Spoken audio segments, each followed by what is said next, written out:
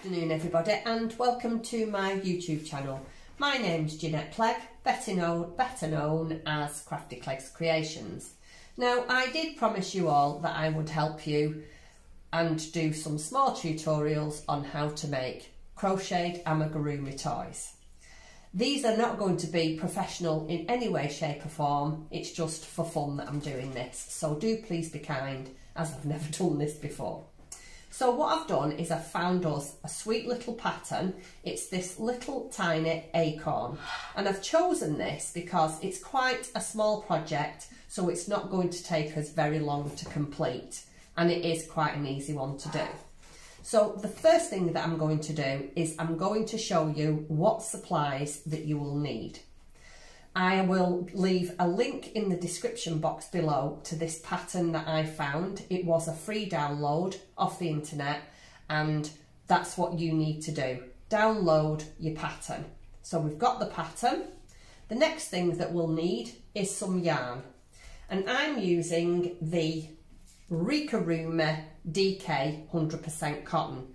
This yarn is superb for anything that is amigurumi. It's a really good yarn, it's very inexpensive and the last time I looked I think there was about 109 solid colours and since then they have added variegated colours so you could always you know do these in different colours if that's what you wanted to do. So you need three different colours. Um, these two colours are for the acorn and this is for your leaves. So that's your yarn that you're going to use. Then you'll need your crochet hook. My crochet hook is a three millimeter and it's a soft touch handle. Um, I tend to use these because I do do a lot of amigurumi as you'll all know um, and these are a little bit better for your wrist because doing a lot of amigurumi can be quite stressful on your wrist and give you a little bit of pain and this soft touch handle does help. So you need your crochet hook. The next thing that you will need, I'll put it down there so you can see it, is one of these stitch markers. Most amigurumi is crocheted in a spiral that goes round and round, so you always have to mark the beginning of your round so you know basically where you're up to and that you can follow your pattern. So it's very important that you have your stitch marker. The next thing are your safety eyes. You will need two safety eyes. Um, you can get these from most craft stores. I get mine from the internet, but there is a lot of different craft stores that is dotted around that you will be able to get them from. And it does tell you in the pattern what size eyes, safety eyes that you need and what size crochet hook you need. These can be quite difficult to put on. Sometimes you get them on really easy and then other times they are very difficult. So I just wanted to pre-warn you of that.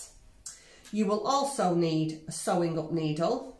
This is to sew the embellishments on the face and construct your acorn as they're made in two separate pieces and then you have to join them together.